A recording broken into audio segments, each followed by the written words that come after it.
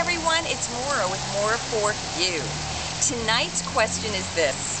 Could you possibly be the source of any of the frustration you're experiencing in life? Now, a lot of us never really give thought to things like that. Normally we want to say, oh gosh, it's the job, it's the kids, it's the spouse, it's the friends, it's the family, it's the economy, stupid. It could be anything, but very rarely do we ever say, gee, could it also be me? The reason why I ask the question, could you possibly be the source of some of the frustration in your life, is this.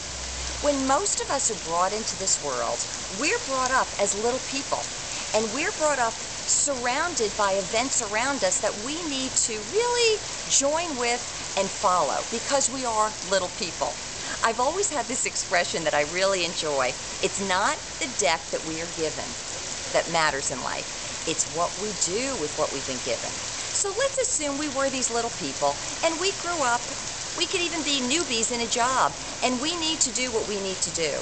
But after a while, if we find as we grow up that we no longer feel comfortable and feel happy doing what we're doing and really dancing the same dance we've ever danced, maybe it's time we need to look not only at all the people out there and all of the circumstances that are out there, but also at some of the agreement that we've given to our own situation.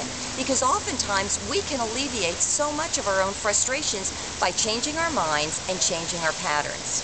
I, will give you this as an example.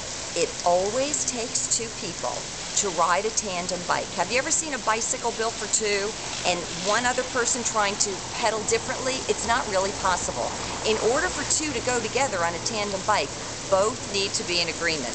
How about this? When two people are dancing, it really takes two to be in agreement. So sometimes we may look at a situation, at a scenario, or at a circumstance, or a person in our life and think, oh, boy, this person's really making me so frustrated, and not give a moment to think about what am I personally doing to help contribute to this situation, and what changes can I make to alleviate some of the stress and take away some of the frustration. You might just find that when you look at some of your own patterns, you might be able to alleviate your own stress, your own frustration, and enjoy a little bit more of life. Well, I hope this gives you something different to think about tonight. You may have a little bit less frustration than you thought you needed.